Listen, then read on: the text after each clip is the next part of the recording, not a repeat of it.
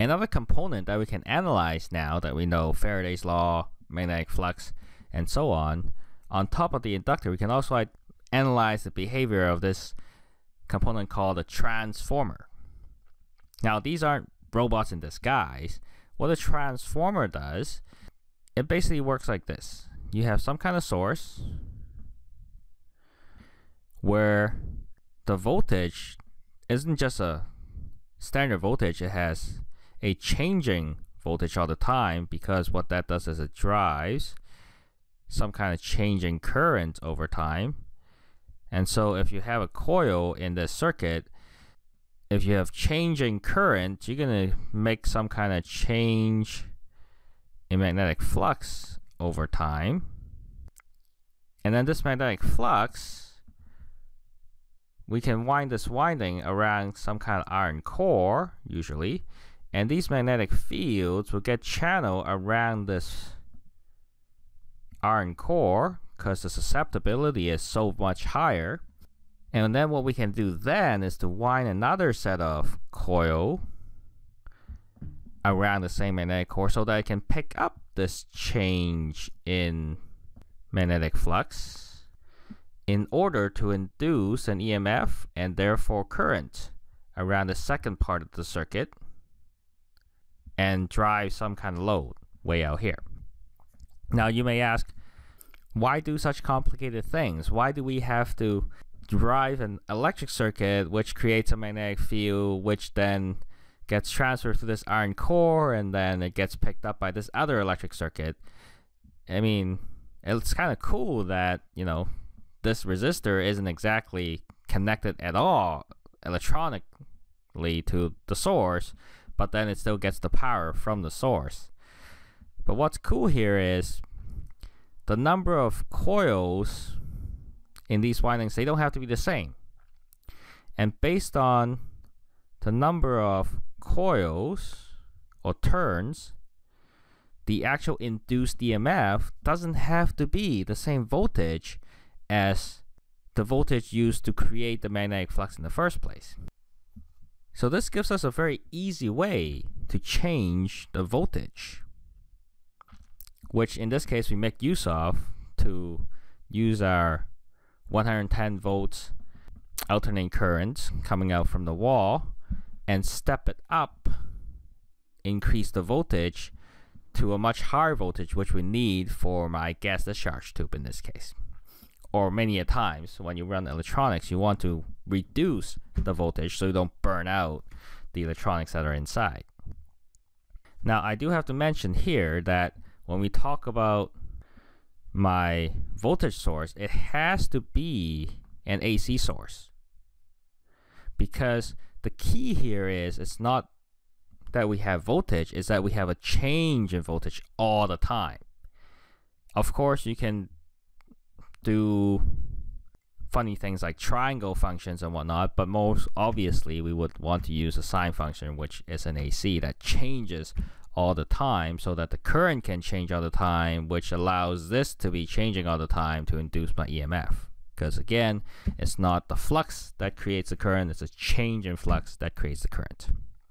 If that's met, then the relationship between my input or primary voltage and my secondary voltage, it's actually very simple. You can go through the whole derivation yourself in the textbooks, but this is the end result. The ratio of the turns will give you the ratio of the voltages. In this case, we're told that we have V2 of 5 kilovolts, quite large. So then we can then find out this ratio simply by comparing my two primary and secondary voltages. So we know that N1 over N2 is simply V1 over V2, rearranging. So we can say that N1 is simply 0.022 N2. There's a lot more turns in the secondary in order to step up my voltage. Though Oftentimes, we like to re-express this with numbers greater than 1, so we swap it on the other side and say that N2 is actually about 45 times. The number of turns is N1.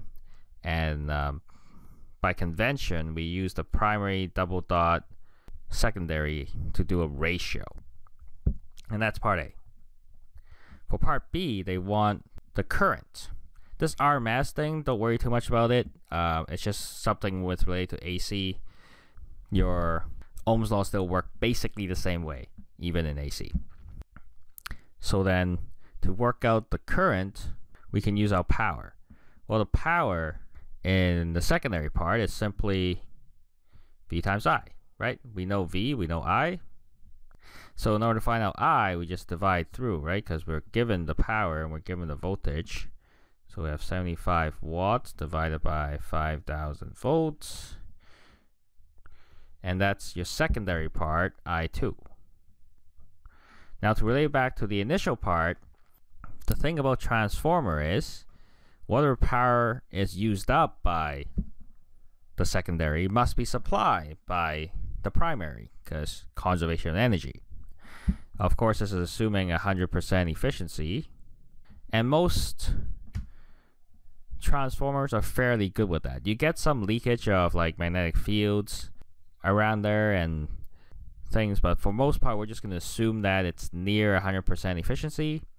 So again, I1 is going to be P1 over V1, which as we know, is going to be the same power, but divided by totally different voltage.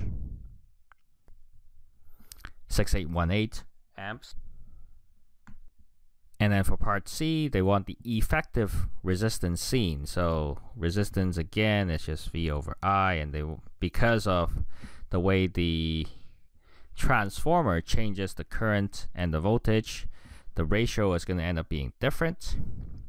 So instead of whatever this R is, it has changed slightly to be 161 ohms. So the math itself is actually quite simple. No integration, not even sines and cosine. But the application is very useful. And in fact, it's one of the key idea why we have not only AC power generation, but AC power transmission. Because ideally we want to transmit power with very little loss, and we can achieve that at very high voltages. But to change the voltage, it is much easier to do so in AC because we can construct a device like the transformer.